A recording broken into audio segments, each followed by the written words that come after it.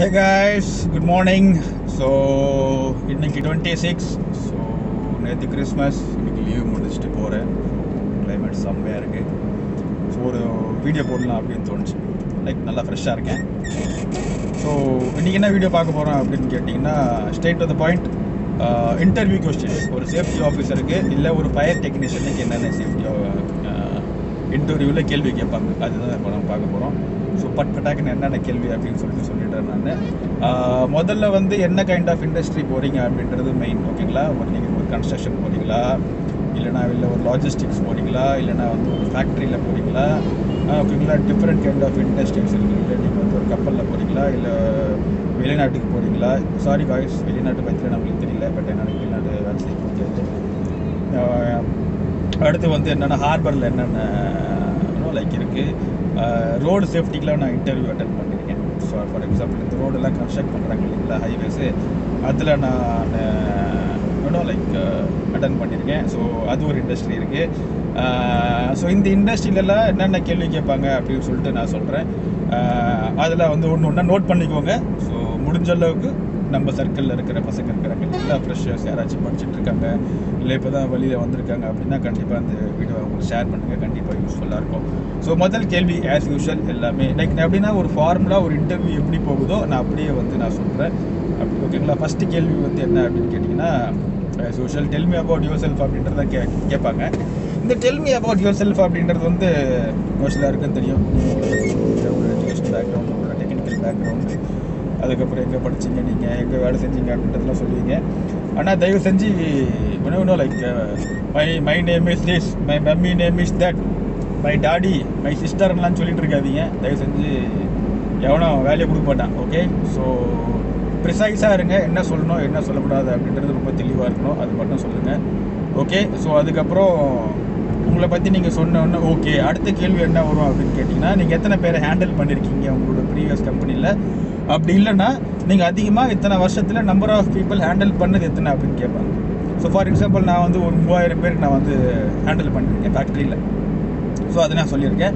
அது மெயினாக பார்ப்பாங்க. ஏன்னா நம்பர் ஆஃப் பீப்புள் நீங்கள் எப்படி ஹேண்டில் பண்ணியிருக்கீங்க அப்படின்னு பார்ப்பாங்க. ஏன்னா வந்து மாக் கண்டக்ட் பண்ணும்போது நீங்கள் எப்படிலாம் வந்து பேசியிருக்கீங்க எப்படிலாம் பேசுவீங்க அப்படின்ற மாதிரி கேட்பாங்க. கண்டிப்பாக நான் ஒரு மார்க் ட்ரில் பண்ணுறேன் அப்படின்னா ஒரு three hundred numbers sorry three thousand numbers வச்சு மார்க் ட்ரில் பண்ணுறோன்னா அதுக்கு ஒரு திறமை வேணும் இல்லையா? ஸோ அந்த பேச்சு திறமையெல்லாம் நம்மளுக்கு இருக்குதா இல்லையா அப்படின்ற மாதிரி பார்ப்பாங்க.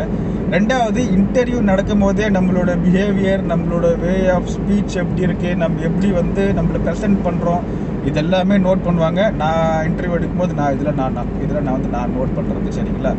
ஏன் அப்படின்னு கேட்டிங்க அப்படின்னா நீங்கள் வந்து வேறு கம்பெனிக்கு போடுற மாதிரி இருக்கும் இல்லை கிளைண்ட் வந்து மீட் பண்ணுற மாதிரி இருக்கும் ஆடிட் நடக்கும் ஸோ அப்போ நீங்கள் வந்து உங்களை எப்படி ப்ரெசென்ட் பண்ணுறீங்க நீங்கள் அவங்களை எப்படி வந்து வெல்கம் பண்ணுறீங்க நீங்கள் அவங்களுக்கு எப்படி இன்டென்ஷன் கொடுக்குறீங்க? நீங்கள் சொல்கிறது அவருக்கு பிடிச்சி போயிட்டு அவருக்கு கம்முன்னு வாயை மூடின்னு போகணும். ஸோ இதில் வந்து ஒரு சில இண்டஸ்ட்ரியில் இருக்குது ஃபார் எக்ஸாம்பிள் லாஜிஸ்டிக்ஸில் வேர் ஹவுசிங்கில் அதர் ஐடி செக்டர்ஸில் நீங்கள் ஒர்க் பண்ணுறீங்க அப்படின்னும் போது உங்களோட ப்ரெசன்டேஷன் எப்படி இருக்குது அப்படின்றது கண்டிப்பாக பார்ப்பாங்க. ஸோ அது மெயின் ஸோ இதுக்கெலாம் நிறைய வீடியோஸ் இருக்குது யூடியூப்பில் உங்களுக்கு எப்படி நீங்கள் ப்ரெசென்ட் பண்ணிக்கலாம் அப்படின்னு சொல்லிட்டு அதை நீங்கள் ப்ரெசென்ட் பண்ணிக்கோங்க. ரெண்டாவது அனாவசியமாக உங்களுக்கு தெரியாத விஷயத்த ரெசியூமேல போடாதீங்க. ஓகேங்களா மோஸ்ட்லி ஒரு இன்டர்வியூ எடுக்கிறாங்க அப்படின்னா அந்த இன்டர்வியூவருக்கே என்ன கேள்வின்னு யாருக்கு என்னன்னே தெரியாது. அவர் என்ன பண்ணுவார்னா அந்த ஏதாச்சும் ஒன்று சிக்குதா அப்படின்னு சொல்லிட்டு தான் பார்ப்பாங்க. அது அது வந்து ஒன்று சிக்கிச்சு அப்படின்னா அதை வச்சு கேள்வி கேட்பாங்க. நம்ம நம்மளுக்கு தான் என்னன்னே தெரியாது. அது சும்மா ஒரு பந்தாக்கல்ல போட்டு வச்சுருக்குறோம். ஆட்டோமேட்டிக்காக மாட்டோம். அந்த இன்டர்வியூ காலி நம்மளுக்கு வேலை கிடைக்காது. ஸோ இது இது ரொம்ப மெயின் ப்ரிசைஸாக உங்களுக்கு என்ன தெரியும்? உங்களுக்கு என்ன தெரியாது. ஓகேங்களா? உங்களுக்கு என்ன தெரியுமோ அது மட்டும் தான் இருக்கணும். உங்களுக்கு ரெசியூமில் வேறு எதுவுமே இருக்கக்கூடாது கச்சமச்ச மச்ச கச்ச எஸ்ஏ ரைட்டிங் மாதிரிலாம் போடாதீங்க. அவ்வளோதான் ஓகேங்களா? இல்லைனா கமெண்ட் பண்ணுங்கள் ஒரு ரெசியூம் எப்படி ப்ரிப்பேர் பண்ணுறதும் நான் உங்களுக்கு சொல்கிறேன் சரிங்களா? ஆனால் மோஸ்ட்லி நம்ம பசங்க என்ன பண்ணுவாங்க அப்படின்னா இதுக்கு முன்னாடி இருந்த சீனியர்ஸ் அதெல்லாம் வந்து காப்பி பண்ணுவாங்க. அது மாதிரி பண்ணாதீங்கப்பா ஏன் அப்படின்னு கேட்டிங்கன்னா ஒரு ரெசியூமே நம்மளுக்கு அடிக்க தெரியல அப்படின்னும் போது ரொம்ப கஷ்டமாயிடும். அதனால் முடிஞ்ச அளவுக்கு உங்களோட ரெசியூமே நீங்களே டைப் பண்ணுங்கள் உங்களுக்கு என்ன தெரியுமோ அது மட்டும் போடுங்க. வேறு எதுவும் வந்து போடாதீங்க. இது ஒன்று ரெண்டாவது டெக்னிக்கல் கேள்விகள். டெக்னிக்கல் கேள்விகள் என்னென்ன என்னென்ன கேட்டாங்க அப்படின்றத நான் சொல்கிறேன் ஸோ ஃபயர்னு என்னன்னு தெரியுமா? ஓகே ஃபயர்னு என்னன்னு தெரியுமா? அதுக்கப்புறம் வந்து எத்தனை கைண்ட் ஆஃப் ஃபயர் எஸ்டிமேஷன் இருக்குது அப்படின்னு கேட்பாங்க இந்த கேள்வி கேட்கும்போது எனக்கு செம்ம சில்லியாக இருக்கும். அப்படி சிரிப்பு தான் வரும் அவங்களுக்குள்ள அப்புறமா பேக் ஆஸ் யூஷுவல் யார் வேலை வேணும் இல்லையா நம்ம சொல்கிறோம் இப்போ நான் சொல்லுவோம்? சார் அது இதெல்லாம் இருக்குது சார் அதெல்லாம் இருக்குது சார் அப்படின்னு சொல்லிட்டு நம்ம சொல்லுவோம். அது சொல்லி நான் டைம் வேஸ்ட் பண்ண ரெண்டாவது என்ன அப்படின்னு கேட்டிங்கன்னா ஃபயர் ரூம்ஸ் ஹைட்ரண்ட் லைன் இதெல்லாம் பற்றி தெரியுமா அப்படின்னு சொல்லி கேட்பாங்க. ஹைட்ரண்ட் சிஸ்டம்ஸ் பற்றிலாம் தெரியுமா அப்படின்னு சொல்லி ஸோ என்னென்ன கைண்ட் ஆஃப் பம்ப்ஸ் இருக்குது ஓகே ஸோ எவ்வளோ ப்ரெஷர் மெயின்டைன் பண்ணும்? எப்படி மெயின்டைன் பண்ணுவீங்க நீங்கள் பம்ப் ரூமை அதுக்கு என்ன மெயின்டெனன்ஸ்லாம் உங்களுக்கு தெரியும்? உங்களுக்கு தெரியும். என்னென்ன பிரச்சனைலாம் உங்களுக்கு வரும்?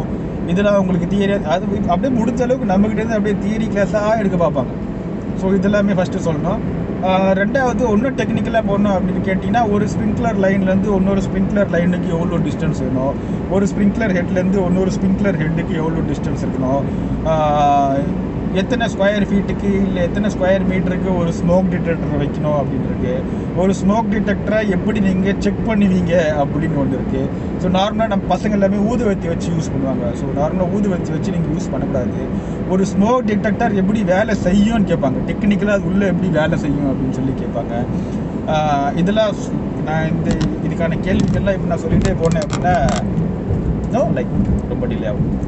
அப்புறம் பார்த்துக்கலாம். ஸோ ஒரு ஸ்மோக் டிடெக்டர் எப்படி ஒர்க் ஆகும் அப்படின்னு சொல்லி நம்ம கேட்பாங்க. ஃபார் எக்ஸாம்பிள் எப்படி வந்து அதோட ஒர்க்கிங் பிரின்சிபல்குள்ளே எப்படி அந்த பக்கம்லாம் போயிட்டு எப்படி அது தடுத்து எப்படி ஆகுது அப்படின்லாம் கேட்பாங்க. ரொம்ப இன்ட்ரெஸ்டிங்காக இருக்கும். இதெல்லாம் கேள்வி கேட்கும்போது. இப்போ வந்து ஒரு இன்டர்வியூ போயிட்டு நம்ம ஐயோ நம்ம செலக்ட் ஆகலையே அப்படின்னு சொல்லி தயவு செஞ்சு வருத்தப்படாதீங்க. அவங்க என்ன இன்டர்வியூ கேட்குறாங்க அப்படின்னு சொல்லி இப்போ எனக்கும் தான் நான் வந்து ஃபஸ்ட்டு எடுத்தோன்னே நான் வந்து ஒன்று டாப் டூப்புன்னு நான் வந்துடல இப்போ ஒரு பொசிஷனில் இருக்கேன். ஸோ சவுத் ஈஸ்ட் நான் பார்த்துக்கிறேன் அப்படின்னா இதில் இந்த தோல்வி இந்த கேள்வி இதெல்லாமே நான் தெரிஞ்சுக்கிட்டேன். என்ன என்னென்ன கேட்டாங்க அப்படின்னு தெரிஞ்சுக்கிட்டேன். ஸோ அதுக்கப்புறம் ஆட்டோமேட்டிக்காக நீங்கள் ஒரு பொசிஷனில் வரலாம்.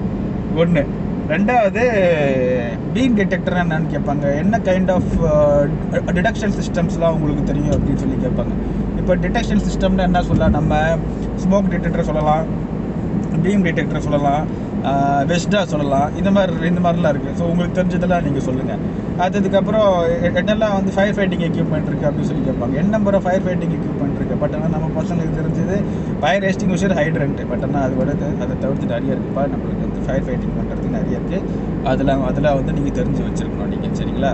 உங்களுக்கு என்னென்ன வேணும்னு சொல்லி நீங்கள் கமெண்ட் பண்ணுங்கள் நான் உங்களுக்கு சொல்கிறேன் ஓகே ஒன்று இதை தவிர்த்து வேறு என்ன டெக்னிக்கலாக கேட்பாங்க அப்படின்னு கேட்டிங்கன்னா ஃபஸ்ட் எய்ட்லாம் தெரியுமா அப்படின்னு சொல்லி கேட்பாங்க. ஒருத்தருக்கு இன்ஜுரி ஆயிடுச்சு அப்படின்னா ஒரு டைம் நான் பார்த்துக்கிறேன்.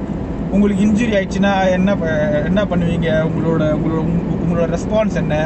ஓகே அதுக்கப்புறம் உங்களோட எமர்ஜென்சி ப்ரிப்பேர்னஸ் பேனில் உங்களோட டீம்லாம் நீங்கள் எப்படி நீங்கள் மெயின்டைன் பண்ணுவீங்க? அவங்களுக்கு எப்படி நீங்கள் ட்ரெயின் பண்ணுவீங்க? அப்படியே ஆக்சுவலி பார்த்தீங்கன்னா வேறு ஒரு இன்டர்வியூ போனீங்க அப்படின்னா லைக் ஒரு அஞ்சு நிமிஷம் பத்து நிமிஷத்தில் முடிச்சிடும் பட் ஆனால் ஒரு சேஃப்டி ஆஃபீஸர்கிட்ட நீங்கள் போனீங்க அப்படின்னா வச்சு செய்வாங்க. ஒரு மணி நேரம் நான் கிட்டத்தட்ட ஒன்றரை மணி நேரம் நான் கொடுத்துருக்கேன் நான். ஸோ இந்த மாதிரிலாம் நிறைய இருக்குது ஸோ இதில் வந்து மோஸ்ட்டாக தெரிஞ்சுக்கோங்க. ஒரு இன்டர்வியூ போகிறீங்க அப்படின்னா நீங்கள் என்ன இன்ட்ரெஸ்ட் ஃபார் எக்ஸாம்பிள் ஆக்ட் தெரியணும் உங்களுக்கு. இப்போ வந்து நீங்கள் ஒரு கன்ஸ்ட்ரக்ஷன் சைட் போகிறீங்க அப்படின்னா பிஓசிடபிள்யூன்னு சொல்லுவாங்க. Building and other construction workers ஆக்ட்னு சொல்லுவாங்க. இதே ஃபேக்ட்ரிக்கு போனீங்க அப்படின்னா ஃபேக்ட்ரி ஆக்ட் இதே நீங்கள் வந்து ஒரு வேர் ஹவுசிங் இல்லை ஒரு லாஜிஸ்டிக்ஸ் போனீங்க அப்படின்னா shop and establishment act so இந்த இதெல்லாம் என்ன அப்படின்னு சொல்லி சம்டைம்ஸ் கேட்கலாம் கேட்கலாம்ப்பா எதிர்க்கு யாருன்னு கேட்டதில்லை. பட் இந்த இந்த மாதிரி கேள்விலாம் கேட்பாங்க. தம்பி இதுக்கு என்ன ஆக்ட் அதுக்கு என்ன ஆக்ட் இதுக்கு என்ன ஆக்ட் அப்படின்லாம் கேட்பாங்க. பேட் லக் இருந்துச்சுன்னா அதுக்கு கேள்வியும் கேட்பாங்க. அது பார்த்தீங்கன்னா அப்படியே ஒரு இன்னும் it's kind of book so அதெல்லாம் வந்து இருக்குது நம்மளுக்கு. ஸோ இதெல்லாம் வந்து மோஸ்ட்லி நம்மளுக்கு தெரியணும். ஸோ சொல்லணும் சொல்கிற வரைக்கும் சொல்லி கவர் பண்ணிட்டேன்னு நினைக்கிறேன். ஸோ இதுக்கப்புறம் உங்களுக்கு ஏதாச்சும் டவுட் இருந்துச்சுன்னா கமெண்ட் பண்ணுங்கள் நம்ம சரௌண்டிங் பிஹெச்எஸ் பசங்க இருக்காங்க இல்லைங்களா? அவங்களுக்கு இதை ஷேர் பண்ணுங்கள் ஸோ இதுக்கப்புறம் சின்னதாக ஒன்றான்னு சொல்லி முடிச்சுக்கிறேன்.